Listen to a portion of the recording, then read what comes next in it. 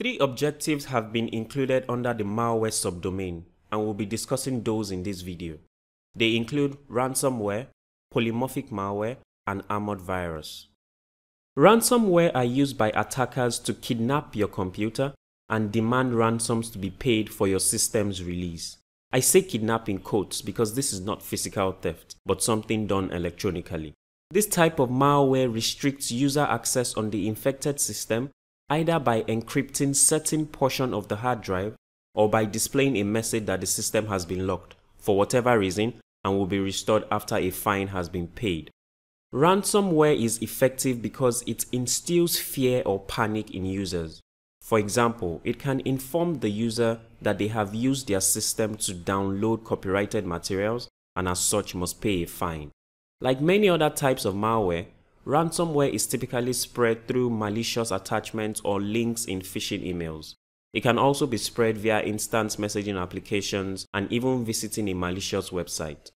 Examples of ransomware include Reveton, CryptoLocker, and CryptoWall.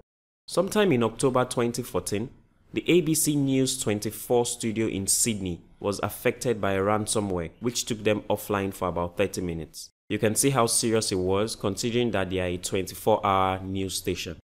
It should be noted that paying the ransom does not guarantee that the malware will be removed from the infected computer, and more malware may even be installed on the system. Recovering from a malware is not easy, and in this case, prevention is definitely better than cure.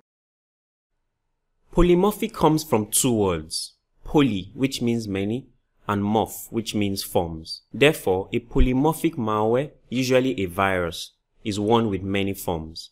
Every time such a virus replicates and infects another file, it changes its pattern or signature, making it more difficult to detect by antivirus applications. This change of pattern is known as mutation.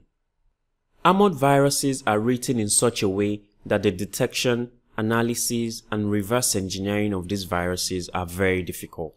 One way to make detection difficult is to fool antivirus applications about the real location of the virus. So the virus says I'm here when it is actually some other place.